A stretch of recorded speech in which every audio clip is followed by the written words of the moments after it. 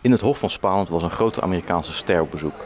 Eén van de beschermers van de aarde, namelijk Bumblebee van de Transformers. En hij werd uiteraard met open armen ontvangen door de Schiedammers. En wie of wat is Bumblebee? Dat is een ehm, robot uit een eh, film. En die vecht met andere robots. En die kan in een auto veranderen. En dan weet ik het even niet meer. Hij heeft wapens bij zich. En in welke film speelt hij dan? Eh, de Bumblebee. De Transformant aflevering. En dat kan je in tekenfilm zien en in het echt. En hoe lang zijn jullie al fan van eh, Mr. Bumblebee? Heel erg. Mm, zeven jaar. Acht jaar.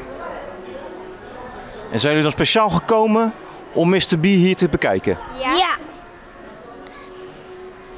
En waar kan Mr. B dan in veranderen? Auto.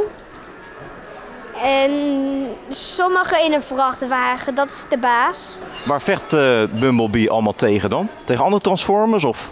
Tegen Tegen slechterikken. En we hebben die slechterikken dan nog een naam? Ehm, die weet ik even niet meer. They're a young species. They have much to learn.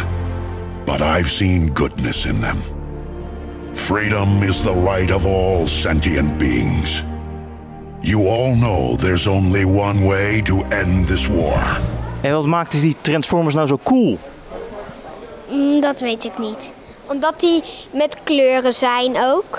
En met sommige hebben hele gekke geluiden als je in, een, in de, gewoon in de auto zit. En zijn jullie dan nou meer fan van de tekenfilm of van de film? Van de echte film.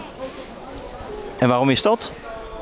Mm, omdat het daar eigenlijk niet echt is, maar het lijkt dat het echt is. En stel voor, er komt weer een Transformer. Een keer in de Hof van Spaanland. Komen jullie dan weer? Ja. The cube is raw power. It could destroy you both.